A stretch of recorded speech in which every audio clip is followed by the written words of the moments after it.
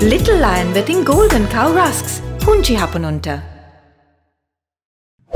දැනට දෙවන පුරා ඩෙංගු රෝගීන් 42961 වගේ ප්‍රමාණයක් වාර්තා වෙනවා. ඉතින් හරි අඩක ප්‍රමාණයක්, ඒ කියන්නේ 20435 වගේ ප්‍රමාණයක් බස්නාහිර පළාත් තුලින් වාර්තා වෙනවා. ඊට අමතරව දිස්ත්‍රික්ක කීපයකම අපි ඩෙංගු රෝගීන් වාර්තා වෙන බව නිරීක්ෂණය කරලා දෙනවා. විශේෂයෙන්ම නුවර, කුරුණෑගල, තොලමැන දිස්ත්‍රික්කවලුත් යම් කිසි ප්‍රමාණයක් රෝගීන් වාර්තා වීමේ අවදානමක් අපි දකිනවා. ඒත් එක්කම ත්‍රිකුණාපලය, මඩකලපුව වගේ දිස්ත්‍රික්කවලත් යම් ආකාරයක රෝගීන්ගේ වර්ධනයක් අපි මේ වෙනකොට නිරීක්ෂණය කරනවා. දැන් මේහා සමගම අපි දිවයින පුරා සෞඛ්‍ය මල්ධාරි කාර්යාල 67ක වගේ ප්‍රමාණයක් අධ්‍ය අවදානම් කලාප වශයෙන් අපි නම් කරලා තියෙනවා. ඉතින් අපි විශේෂයෙන්ම ඉල්ලා සිටිනවා හෙට දිනේ පාසල් ආරම්භ කිරීම නිමේත බැවින් අධ්‍ය අවදානම් කලාප වෙත විශේෂ අවධානය යොමු කරලා මේ පාසල් සියල්ලම සුදු පවිත්‍ර කිරීමේ අවශ්‍යතාවය. ළමුන්ගෙන් 25ක වගේ ප්‍රමාණයක් ඩෙන්ගු රෝගයට ගොදුරුලා තිබුණා පෞද්ගලික අනුව බැලීමේදී. ඒ නිසා අපි විශේෂයෙන්ම ඉල්ලා සිටිනවා ඩෙන්ගු රෝගය පාසල් තුලින් පැතිරීම වළක්වා ගැනීමට අවශ්‍ය සියලු පියවර ගත යුතුයි කියන එක විශේෂයෙන් පාසල තුල